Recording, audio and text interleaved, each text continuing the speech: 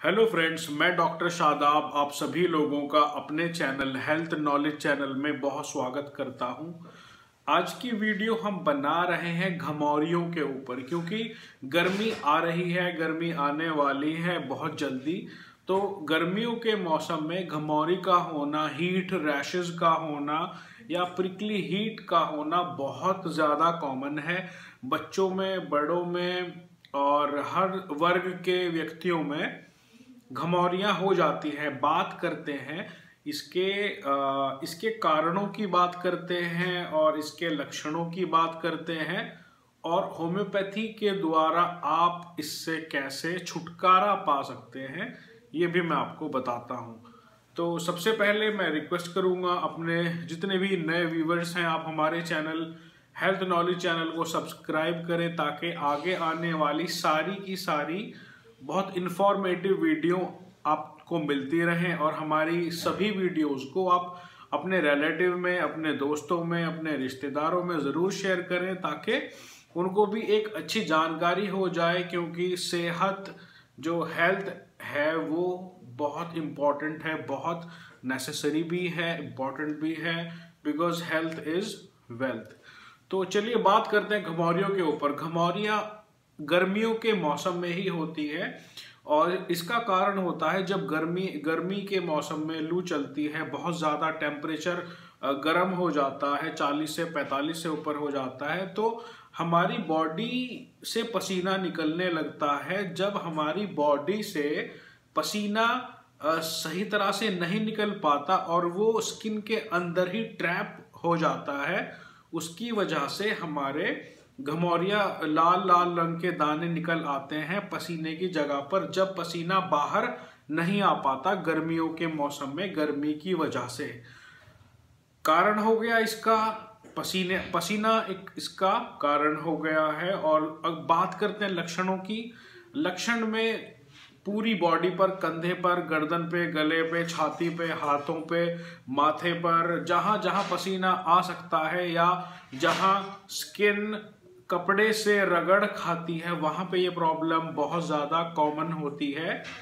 और उसके अलावा ये हाथों पे, टांगों पे, पूरी बॉडी पर भी इस तरह के दाने देखे जा सकते हैं, लाल दाने होते हैं। इनमें खुजली बहुत ज़्यादा होती है, जिसकी वजह से व्यक्ति सो नहीं पाता, कोई काम नहीं कर पाता। उसके अलावा इनमें जलन होती है, मिर्चें लगती हैं और व्यक्ति खुजाने के लिए बहुत ही उतावला हो जाता है। और जब वो खुजाल, खुजली, खुजा लेता है तो उसके बाद फिर ये प्रॉब्लम और ज़्यादा बढ़ जाती है। कुछ टाइम बाद फिर बढ़ जाती है और जो दैनिक कार्य हैं, उनमें भी बहुत ज़्यादा प्रॉब्लम आती रहती है।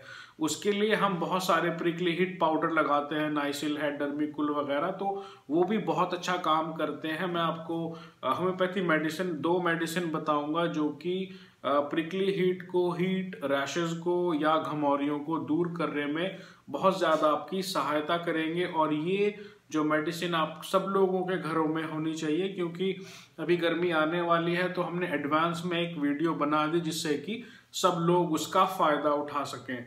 आ, बात करते हैं दवाई की। पहली मेडिसिन है नेट्रम म्योर थर्टी आप ये मेडिसिन लाएँगे किसी भी होम्योपैथिक जहाँ पे दवाइयाँ मिलती हैं मेडिकल स्टोर आप उसको कह सकते हैं।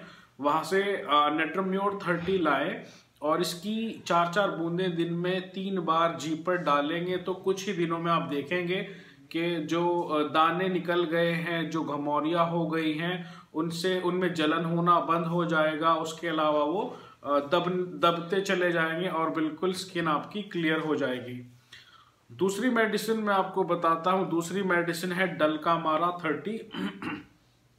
डलका मारा थर्टी एक ऐसी मेडिसिन है, अगर घमौरियाँ पूरे शरीर पर हैं, सिर से लेकर बच्चों में पाँव तक, पैर पे, कमर पे, और पूरी बॉडी पे अगर घमौरियाँ हो रही हैं तो डलका मारा बहुत अच्छी दवाई है, जिससे कि घमौरियों से छुटकारा पाया जा सकता है।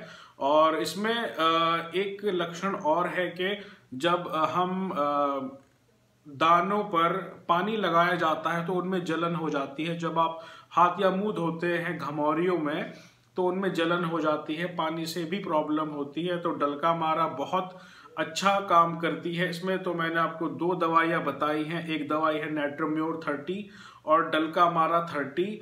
दोनों दवाई दवाई आप ले सकते हैं लक्षणों के आधार पर।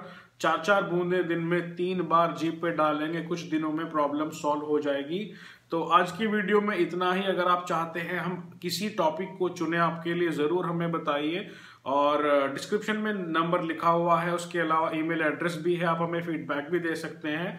और अगर आपको हमारी वीडियो अच्छी लगती है, ज़रूर शेयर करें, लोगों को सब्सक्राइब करें कमेंट करें फीडबैक करें, कुछ भी करें, जुड़े रहें और हमारा परिवार बड़ा करने में बहुत ज़्यादा सहयोग दें ताकि पूरा भारत और पूरा विश्व एक हेल्थी लाइफस्टाइल पे आ सके और हम सब का उद्देश्य हेल्थ सर्वोपरि है। तो अपनी सेहत का ख्याल रखें। अगली वीडियो में आपसे फिर मिलते हैं। तब तक के लिए थैंक यू सो मच